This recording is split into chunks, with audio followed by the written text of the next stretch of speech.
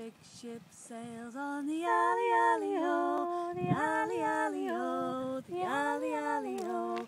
The big ship sails on the alley, alley, ho, on the last day of September. Alley, alley, ho, alley, alley, ho, the big ship sails away. The big ship sails on the alley, alley, ho, on the Fisher lassies, and come along with me.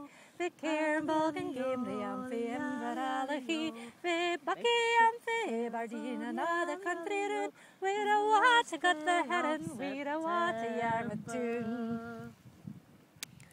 Rise up in the morning with your bundles in your hand. Be at the station early or you'll surely hate to stand. Take plenty to eat and a kettle for your tea or you'll maybe die of hunger on the way to Yarmouth Quay.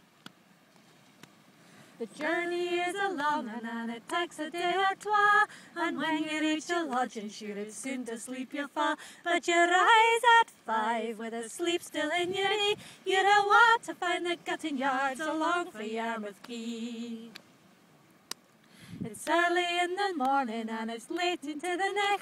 Your hands are cutting chapets and they're looking uncle sick. And you greet like a bairn when you put them in the brie. And you wish you were a dozen miles away from Yarmouth Quay.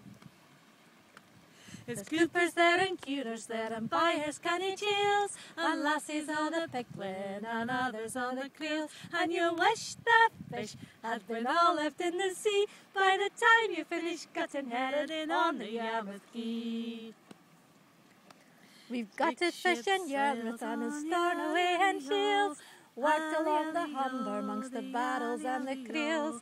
Whitby, Grimsby, we've travelled up and down, but the place to see the herring is the quay at Yarmouth tune. Ali, ali, ho, ali, ali, ho, the big ship sails away. The big ship sails on the alley, alley, ho,